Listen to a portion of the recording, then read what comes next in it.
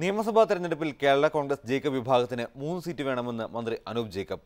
കഴിഞ്ഞ തവണ പാർട്ടി മത്സരിച്ച തരൂർ സീറ്റ് ഇത്തവണ വേണ്ടെന്നും അങ്കമാലിക്കും പിറവത്തിനുമൊപ്പം മറ്റൊരു സീറ്റ് കൂടി ആവശ്യപ്പെടുമെന്നും ജേക്കബ് ക്ഷമിക്കണം അനൂപ് ജേക്കബ് പറഞ്ഞു.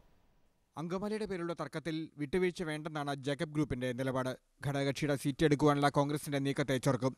വേണ്ടിവന്നാൽ ഇക്കാര്യത്തിൽ പരാതിയുമായി ഹൈക്കമാൻഡിനെ സമീപിക്കാനും പാർട്ടിക്ക് പരിപാടിയുണ്ട്.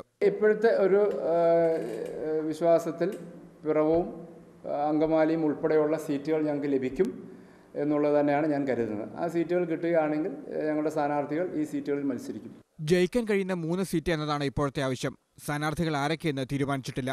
അത് സീറ്റ് ലഭിച്ച ശേഷം പാർട്ടി തീരുമാനിക്കും. ടി എം ജേക്കബിന്റെ ഭാര്യ ഡെയ്സി ജേക്കബ് മത്സരിക്കുമോ എന്ന കാര്യവും പാർട്ടി തീരുമാനിക്കുമെന്നാണ് അനൂപ് ജേക്കബിന്റെ മറുപടി. ഞാൻ എം എൽ എ ആയി മൂന്നര വർഷം കഴിഞ്ഞു. അപ്പോൾ ഞാൻ സ്വയം സീറ്റ് പ്രഖ്യാപിക്കാൻ ഞാൻ ആഗ്രഹിക്കുന്നില്ല. സ്വയം പ്രഖ്യാപിത സ്ഥാനാർത്ഥിയായിട്ട് നടക്കാൻ പറ്റത്തില്ല അതിനൊക്കെ അതിന്റെതായ ഒരു പ്ലാറ്റ്ഫോം ചട്ടക്കൂടുകളും ഉണ്ടല്ലോ. അതിനനുസൃതമായി പോകണമെന്ന് ആഗ്രഹിക്കുന്ന ആളാണ് ഞാൻ. ഞാനിവിടെ നിന്ന് ഞാൻ പുറത്ത് മത്സരിക്കാൻ പോകും ഞാൻ പറയാൻ പറ്റുമോ അതിനകത്ത് ഞങ്ങൾക്ക് ഞങ്ങൾക്കൊരു സമിതിയുണ്ട്. അതിനകത്ത് വെച്ച് ഞങ്ങൾ ചർച്ച ചെയ്യും.